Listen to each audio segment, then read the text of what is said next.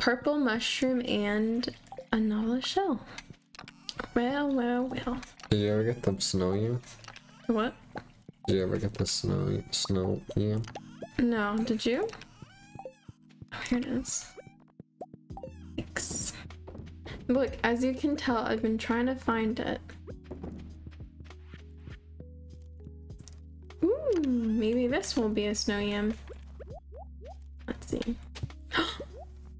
You got it? It's a yam! What are the odds? I know, seriously. You predicted it right. Yep, I did.